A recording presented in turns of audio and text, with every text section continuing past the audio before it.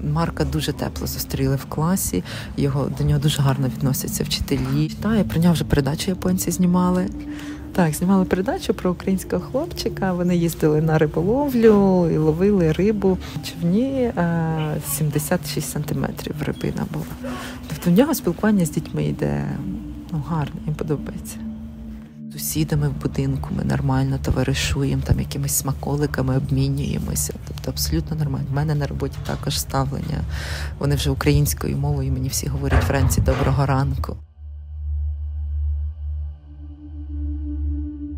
Коли ми приїхали в Бучу, і в 2014 році до Бучі приїхало дуже багато переселенців з Донецька і Луганська. І я я ніколи не думала, що я буду на тому місці. Да, Я бачила там, які потреби були в цих дітей, які приходять до школи, яка в них ну, в них стресовий стан, поки вони там багато років вони виходили з цього стресового становища. Я ніколи не думала, що я буду на цьому, що я опинюсь з іншого боку, що я буду біженкою, що я буду потребувати допомоги.